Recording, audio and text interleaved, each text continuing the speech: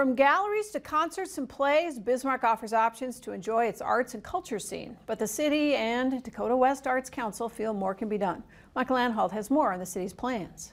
Options like seeing a play at Dakota Stage, admiring the city's artwork in Art Alley, or taking in the sights and sounds of the natural world at the Dakota Zoo can satisfy an urge. But the city and its partners understand the importance of a city's arts and culture scene and that it could use more support. It's definitely a focal point in a community. It's, it highlights what the community actually is. It can highlight who people are in the community, what a community wants to be, what they want to showcase.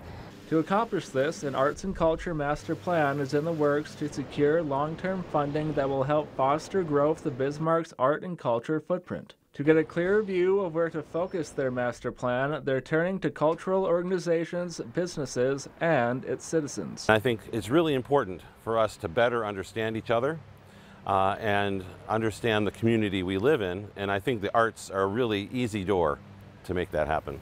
Thomes says in order to guide the community, you have to listen to its voice. In Bismarck, I'm Michael Anhalt reporting for your news leader. You can take the Arts and Culture Survey at bismarckcultureplan.com and look out for future opportunities as the master plan moves forward.